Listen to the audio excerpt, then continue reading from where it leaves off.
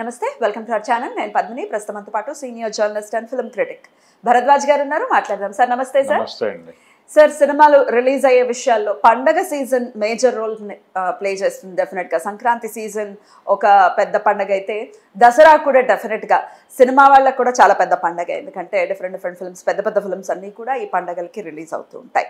అలాగే సమ్మర్ సీజన్లో కూడా రిలీజ్ అవుతుంటాయి అయితే ఈ దసరాకి ప్రత్యేకించి మూడు నాలుగు సినిమాలు రిలీజ్ అయ్యాయి కాబట్టి దసరా ఎవరి ఎవరికి నిజంగానే పండగ వాతావరణం తీసుకొచ్చింది ఎవరు విజయం సాధించారు ఈ దసరాకి?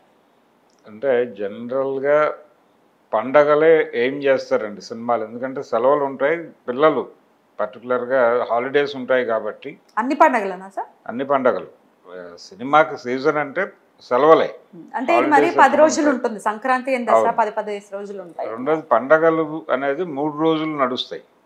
ప్రధానమైనటువంటి సెలవులు మూడు రోజులు కంటిన్యూస్గా ఉంటాయి. కాబట్టి ఈ పండగలకి రిలీజ్ చేస్తే బెటరు అనే అభిప్రాయంతో ఉంటారు సినిమా వాళ్ళు మామూలుగా. అందులో భాగంగానే సంక్రాంతి అలాగే దసరా ఇవి ఏం చేస్తూ ఉంటారు. ఈసారి మూడు సినిమాలు వచ్చినాయి. మూడిట్లో ఒకటి నందమూరి బాలకృష్ణ నటించినటువంటి భగ భగవంత్ కేసరి. ఒకటైతే రెండో సినిమా లియో విజయ్ది. అలాగే మూడవ సినిమా టైగర్ నాగేశ్వరరావు రవితేజ. అయితే ఈ మూడు సినిమాల్లో టాక్ పరంగా తెలుగు వరకు పరిమితమైతే భగవంత్ కేసరి హిట్ సినిమాగా చెప్పుకోవాలి విన్నర్గా చెప్పుకోవాలి. కానీ పాన్ ఇండియా రిలీజ్ ఉంది ఆ సినిమా లియో. అలాగే పాన్ ఇండియా లెవెల్ కాకపోయినప్పటికీ సౌత్ మార్కెట్లో వాళ్ళు సత్తా చాటుకున్నారు మరొకసారి తమిళ సినిమా. అది ఓపెనింగ్సే వంద కోట్లు కలెక్ట్ చేసి. విజేతగా నిలబడింది. అయితే ఈ సినిమా యాభై ఒకటి క్రాస్ అయింది. యాభై క్రాస్ అయింది వందకి చేరుతోంది. వందకి చేరుతుంది అనే నమ్మకం కలిగింది భగవంత్ కేసరి. తర్వాత Ravi Teja cinema. Ravi Teja cinema tiger నాగేశ్వరరావుకి వచ్చేసరికి వాస్తవాలను దాటి వెళ్ళారు. క్యారెక్టర్ని ఎక్కువ అంటే ఆ- క్యారెక్టర్ని పెంచడం కోసం ఎగ్జాజురేషన్స్ ఉన్నాయా? ఏం చేయటానికైనా సిద్ధపడ్డాడు దర్శకుడు. లాంటి విమర్శలు వచ్చినాయి బలంగా. అంటే వాస్తవంగా చిత్రీకరించిన అతని క్యారెక్టర్ సరిపోతుంది. కాస్త ఎందుకు? లిబర్టీ తీసుకుంటారు కదా సార్ సినిమా వాళ్ళు. తీసుకొని అవసరం లేనంత ఎమోషన్స్ ఉన్నాయి అతని జీవితంలో లో. ఆ క్యారెక్టర్లో? వాటిని వాటిని వదిలిపెట్టి ఎందుకని మార్చి ఉంటారు రవితేజ చేస్తున్నాడు కాబట్టి ఆ క్యారెక్టర్లో ఇంకేదో ఉండాలి అనే ఉద్దేశంతో. వీళ్ళు. అంటే టైగర్ నాగేశ్వరరావు జీవితంలో ఆయనకు పెళ్ళయింది మణి అనేటువంటి మణమ్మ అనే ఆవిడతో ఈ సినిమాలో ఆ క్యారెక్టర్ ఉంది అయితే వీళ్ళు ఒక ప్రేమ వ్యవహారం కూడా పెట్టారు లేదండి వీళ్ళు రకరకాల కల్పనలు చేశారు సినిమాలో. సార్ నిజంగానే ఆయన కథ తెలియని వాళ్ళు ఒకవేళ ఈ సినిమా చూస్తే వాళ్ళకి నచ్చుతుందా పోనీ? వాళ్ళకి కనెక్ట్ అవుతుంది. అంటే వాళ్ళు ఆ పద్ధతిలోనే డిజైన్ చేసుకున్నారు. ఇలా అంటే అతను చనిపోయిన తీరు కూడా చాలా విచిత్రంగా ఉంది. ఎవరైతే అతన్ని చంపారో అతన్ని కూడా ఇతను చంపేసినట్టుగా చిత్రీకరించారు సినిమాలో. హీరో కాబట్టి. హీరోయిజం ఉండాలి అనే ఉద్దేశంతో వెళ్ళారు. నిజ జీవితంలో నిజ జీవితంలో మురళి అనేటువంటి ఎస్ఐ చంపేశాడు ఇతన్ని ఎన్కౌంటర్ అంటే ఆయన మత్తులో ఉండగా చంపేశారు. ఆయన ఆయనకి మంచినీళ్ళలోనే మత్తు మందు కలిపి ఇచ్చి అది తాగించి ఆయన నిద్రలో ఉండగా మత్తులో ఉండగా తెల్లారుజామున వెళ్ళి చంపేశారు. ఇది చాలామందికి తెలుసు. ఆంధ్ర తెలంగాణ ప్రాంతాల్లో వాళ్ళకి టైగర్ నాగేశ్వరరావు గురించి క్షుణ్ణంగా తెలుసు.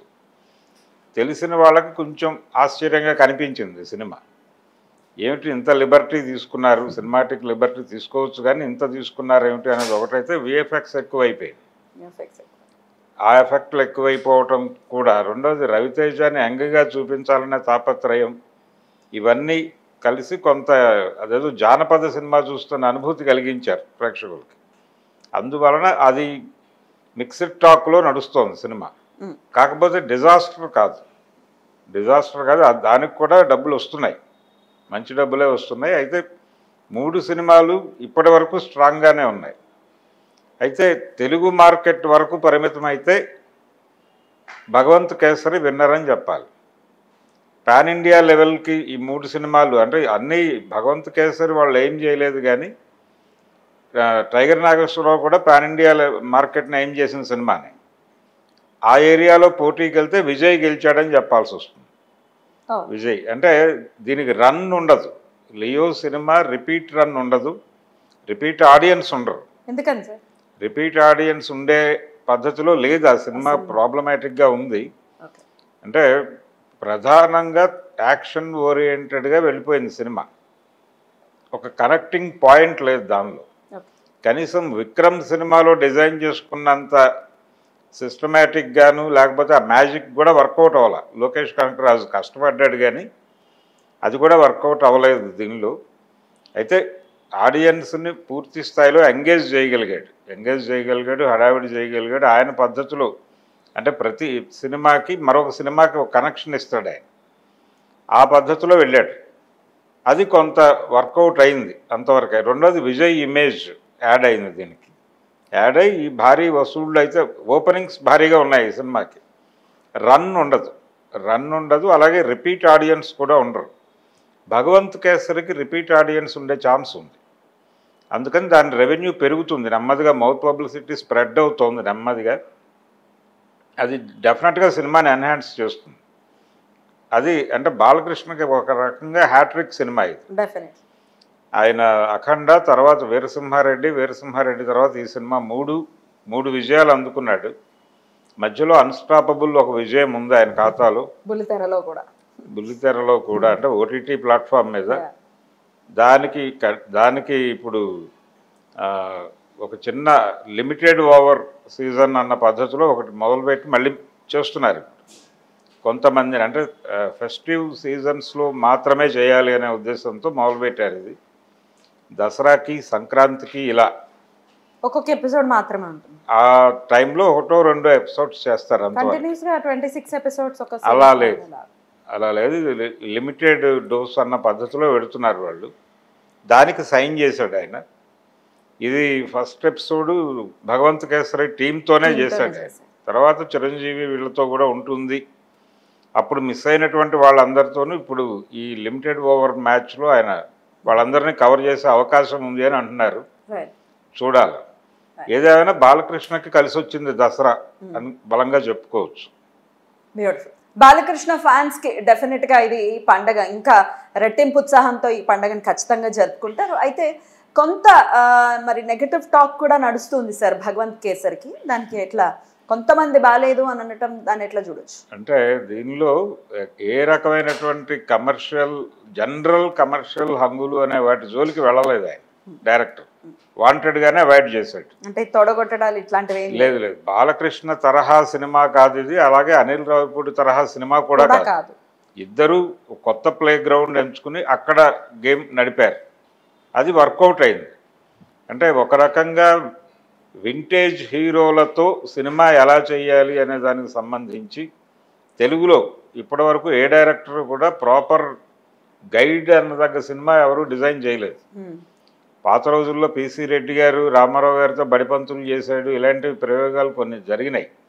బిఏ సుబ్బారావు గారు భీష్మ తీశాడు ఆయన స్వింగ్లో ఉన్న రోజుల్లోనే. అవన్నీ ఓకే. తర్వాత రామారావు గారు కూడా ఇలాంటి సినిమాలు చేయడానికి యాక్సెప్ట్ చేయలే. అంటే ఆయన కూడా ఫ్యాన్స్ ఇబ్బంది పడతారా? లేకపోతే ఆడియన్స్ డీవియేట్ అవుతారు? అనే ఉద్దేశంతో ఒక ముసలి పాత్ర ఒక కుర్ర పాత్ర పెట్టుకుని శ్రీదేవి లాంటి అప్పటి యంగ్ హీరోయిన్స్తో డ్యాన్స్లు పాటలు ఈ హడావిడి కూడా ప్యారలల్గా నడిపేవాడు. అటువంటి ప్రయత్నం ఇందులో జరగల భగవంత్ కేసరిలో. అవుట్ అండ్ అవుట్ ఆ రోజున అంటే డెబ్బై రెండుకు ముందు రామారావు గారు ఎలా ఆలోచించేవాడో ఆ పద్ధతిలో వెళ్ళింది ఈ సినిమా. కాబట్టి ఫ్యాన్స్కి కొంచెం పాటలు ఉంటే బాగుండేది స్టెప్పులు ఉంటే బాగుండేది లాంటి. కనీసం ఐటమ్ సాంగ్ పెడదాము లాంటి ఏరియాకి కూడా వెళ్ళలేదు అంటే ఒక క్లీన్గా సినిమా చెయ్యాలి అని అనుకున్నాడు అలాగే చేశాడు. ఆ మొనాటినీ ఫీలింగ్ ఎక్కడా కలగకుండా డెఫినెట్గా ఒక బ్రేక్ ఇచ్చారని అనుకోవచ్చు. అది అంటే బాలకృష్ణ దానికి ఒప్పుకోవడం కూడా గొప్ప విషయం.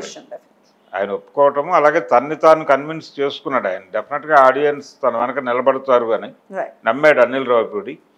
నమ్మటానికి కారణం ఏంటంటే జైలరు లాంటి సినిమాలు సక్సెస్ని ఇచ్చిన ఈ మధ్య కాలంలో బట్ జైలర్లో కూడా ఐటమ్ సాంగ్ ఐటమ్ సాంగ్ ఉంది. అలాగే కొన్ని హంగులు ఉన్నాయి. అయితే వాళ్ళు చేసిన తీసుకున్న జాగ్రత్తలు ఈయన పాటించాడు. Hmm. అంటే వింటేజ్ హీరోలతో సినిమా చేసేటప్పుడు వాళ్ళ మేనరిజమ్స్ వాడుకోవాలి. అలాగే వాళ్ళ ఏజ్ని దాచిపెట్టే ప్రయత్నం చేయకూడదు. అలాగే వాళ్ళ స్ట్రైచర్ని ఇబ్బంది పెట్టకూడదు. ఈ మూడు సూత్రాలు బలంగా పాటించాడు ఆయన. పాటించటం వలన ఈ రోజున అంటే ఇప్పటివరకు బాలకృష్ణ సినిమాలు ఫ్యాన్స్ చూడటం ఇలా నడిచేది. ఆయనకంటూ ఒక కల్ట్ ఆడియన్స్ ఉన్నారు. వాళ్ళు కాకుండా బయట సెక్షన్స్ నుంచి ఈ సినిమాకి వెళ్తున్నారు ఇది ప్లస్ అవుతుంది. ఇది కావాలి. దీన్ని కోరుకున్నాడు ఆయన. దీన్ని ఏం చేశాడు ఒక రకంగా. అది వర్కౌట్ అయింది. అందుకని కలెక్షన్స్ పెరుగుతున్నాయి దీన్ని మొత్తానికి దసరా విజేతగా భగవంత్ కేసరియే ముందున్నారని ఖచ్చితంగా అనుకోవచ్చు. Bhagavanth Kesari. Right sir thank you sir నమస్తే నమస్తే.